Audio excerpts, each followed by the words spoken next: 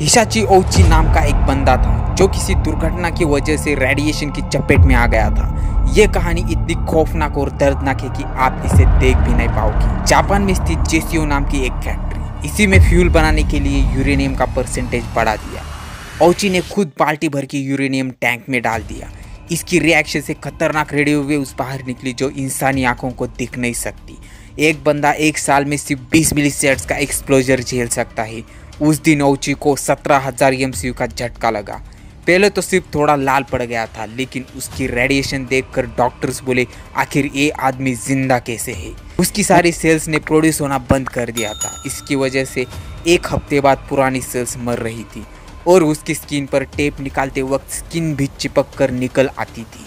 फिर भी ओची ना चाहते हुए भी ज़िंदा था और अब उसकी बॉडी से ब्लड भी निकलना शुरू हो गया था। वो इतना दर्द में था कि वो भी यही सोच रहा था कि मैं अब तक ज़िंदा कैसे हूँ। उसकी आँखों से खून भी निकलना स्टार्ट हो गया था।